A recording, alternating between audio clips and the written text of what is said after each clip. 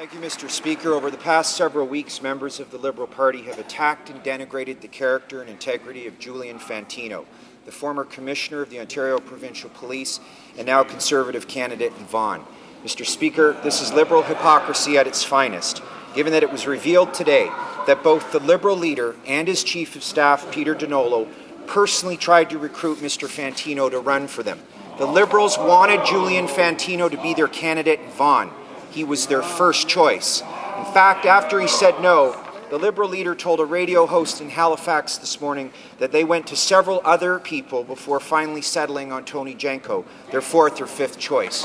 Mr. Speaker, it's only fair for the people of Vaughan to know that Mr. Fantino wasn't only the Conservatives' first choice, he was also the Liberals' first choice.